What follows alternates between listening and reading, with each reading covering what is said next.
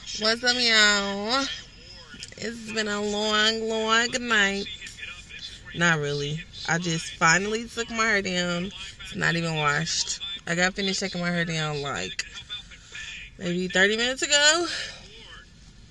I'm waiting for my niece to come outside. And I just had this thought because I turned the car off because I'm trying to, you know, reserve gas. And I was like, oh my God, it's so cold.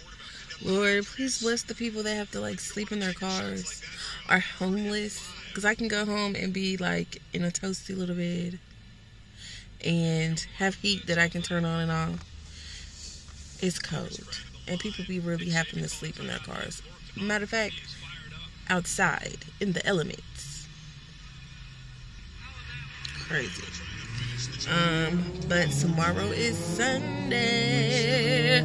So after work, I went to practice and then got some Popeyes. I tried the new Hottie chicken sandwich. Well, the Hottie sauce on the the original chicken sandwich from Popeyes, which was mighty tasty, by the way. Um, I forgot to put that on there, but it was really good. Um, didn't try the nuggets because I've tried those before and they're trifling. So I stuck to what I know now, um, which is the chicken sandwiches.